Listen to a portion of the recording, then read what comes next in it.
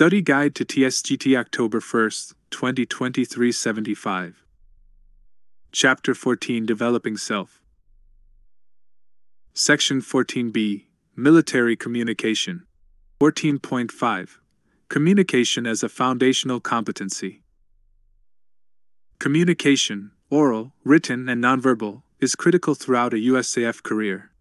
Recognized as a foundational competency, the USAF has defined effective communication to include diverse skills such as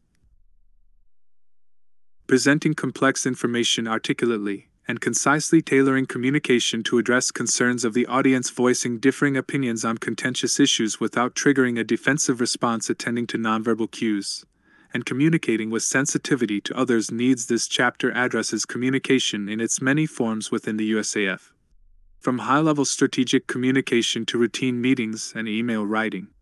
While some communication formats described in this chapter are specific to the military, many of the communication principles described later in this chapter will serve members well even when transitioning to civilian careers.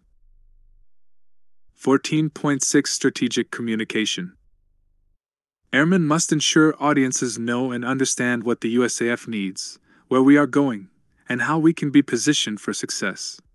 Air Force Communication Waypoints provides the tools needed to clearly articulate the global vigilance, global reach, and global power of the future. Because communication can be broken into three parts the sender, the message, and the audience, we must be aware of and responsible for how we communicate, including the way our communication is perceived by others. Strategic communication is viewed as an emerging and extremely important concept, resulting in strategic communication being designated as a special area of emphasis. Strategic communication defined. The Department of Defense broadly defines strategic communication as a process of purposefully using communication for the intent of advancing national interests and objectives through synchronized integration of information with other elements of national power.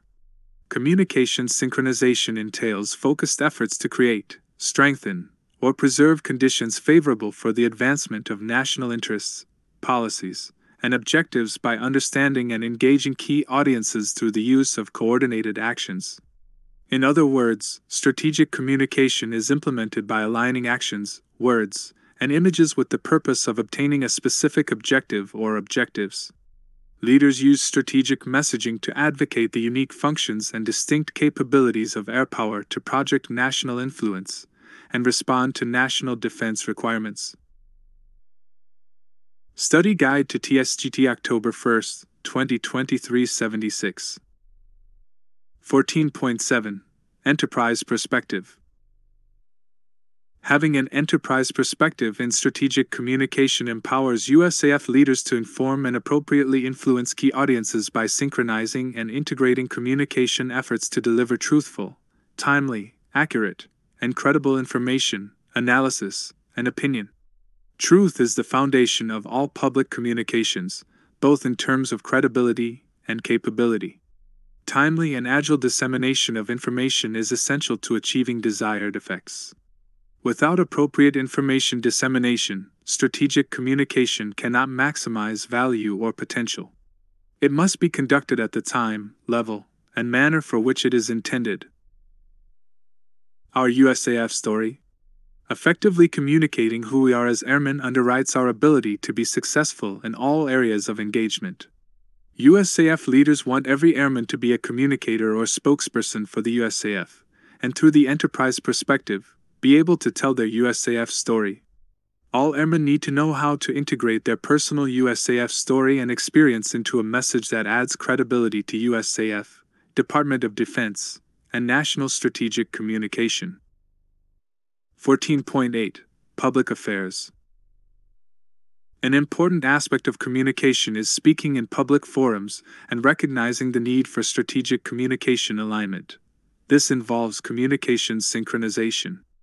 As stated in AFI 1 to 1, the purpose of public affairs PA operations is to communicate timely, accurate, and useful information about USAF activities to Department of Defense, the USAF, as well as domestic and international audiences. The PA representative is the commander's principal spokesperson and advisor, and a member of the personal staff. PA advises the commander on the implications of command decisions, actions, and operations on foreign and domestic public perceptions. PA plans, executes, and evaluates activities and events to support overall operational success. The PA representative must have the resources to provide information, including visual information, to the staff, public, media, and subordinate units in near real time. PA should be involved in planning, decision making, training, equipping, and executing operations as well as integrating PA activities into all levels of command. Additional information regarding public affairs can be found in AFI 35 to 101, Public Affairs Operations, November 20th, 2020. Note, although briefly covered in Standards of Conduct and Enforcing Standards, Propriety, and Perception, it is important to mention that any activity not in alignment with good order, discipline, and national security may intentionally or unintentionally generate a negative perception of the USAF. Commanders have the authority and responsibility to address situations that could be perceived negatively, while also being mindful of preserving the service member's right of expression within these interests. More specific restrictions on communications and unofficial publications can be found in AFI 51 to 508, Political Activities, Free Speech and Freedom of Assembly of Air Force Personnel, October 12, 2018. 14.9 Social Media Airmen interact with individuals via face to face, telephone, written letter, email, text messages, social networking services, and social media. Social networking includes weblogs, message boards, video sharing, and services such as YouTube, Facebook, Twitter, Instagram, and Snapchat used by individuals and communities to stay in touch. Study Guide to TSGT October 1st, 2023 77. Appropriate posts. Individuals are responsible for what they say, share, or post on social networking services. Offensive and inappropriate communication must be avoided. Also, airmen who provide commentary and opinions on internet blogs may not place comments on those blog sites which reasonably can be anticipated or are intended to degrade morale, good order, and discipline of any members or units in the U.S. Armed Forces, are service discrediting, or would degrade the trust and confidence of the public. Additionally, it is important to recognize that social network, friends, and followers may potentially constitute relationships that could affect background investigations and periodic reinvestigations associated with security clearances. Additional information regarding social media can be found in AFH 33 to 337 Natung and Quill, May 27, 2015. AFI 35 to 107, Public Web and Social Communication, March 15, 2017. And AFI 35 to 113, Command Information, July 30, 2018.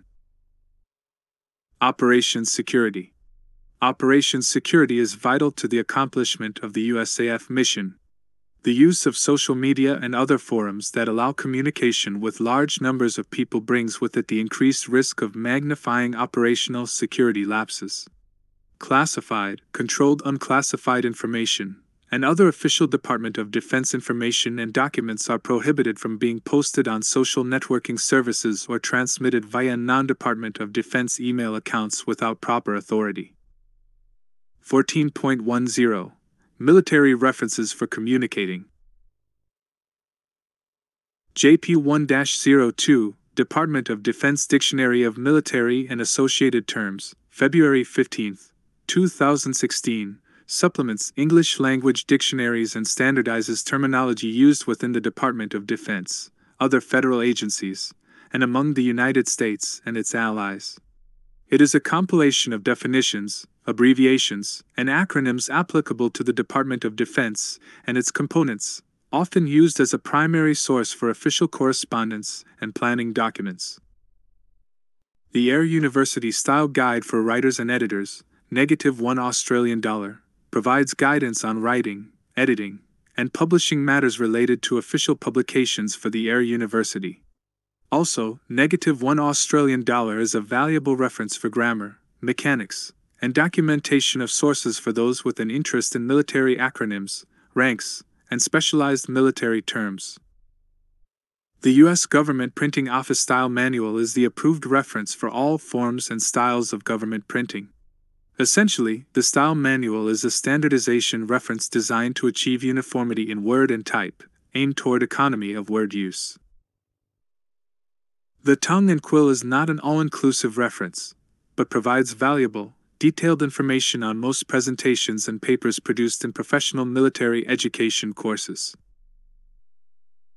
References, such as the Modern Language Association, MLA, Style Guide, the Chicago Manual of Style, and the American Psychological Association, APA, Style Guide, are widely recognized in the civilian sector and organizations following college and university writing standards.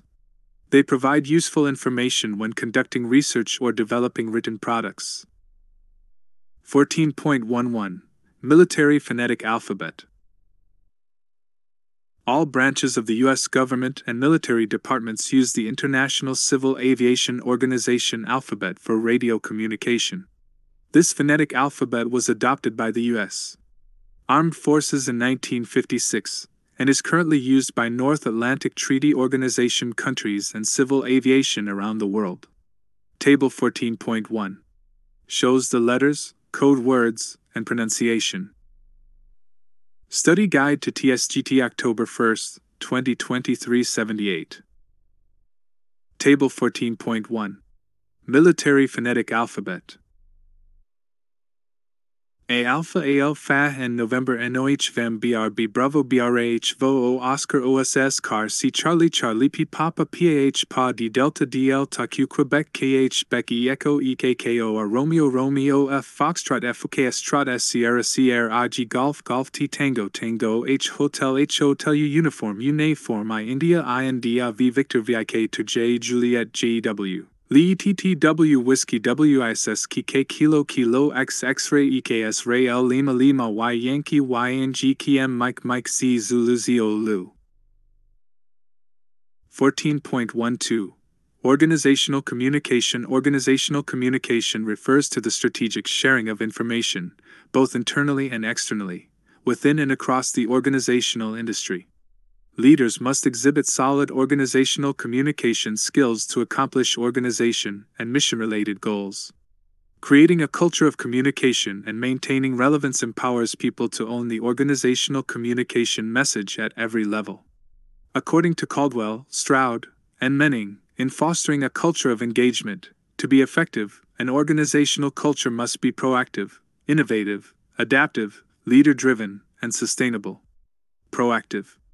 To be proactive means to seize the initiative and be agile in communicating the message. The capacity to be proactive enables leaders to get out front and communicate their perspectives and experiences on important topics. Innovative. To be innovative means to exercise ingenuity in seeking new effective ways of communicating. Relying on more than raw creative thinking, innovation requires an understanding of the characteristics and capabilities of information sharing and the pace of change. Adaptive. Adaptive, modern communication capabilities thrive in a fast evolving, instantaneous, and interconnected information environment that presents challenges to rigid and inflexible organizations. The key to success in this environment is adjusting to changing circumstances on the run. Leader driven. USAF leaders must confront modern media realities by fostering a culture of engagement in their subordinates and commands. Leaders set the command climate by making themselves available for communication, especially during times of crisis. Sustainable. Leadership is essential to instilling focus and function for the culture of engagement. Sustainability requires dedicated resources and manpower to build enduring capabilities to enable a culture of engagement.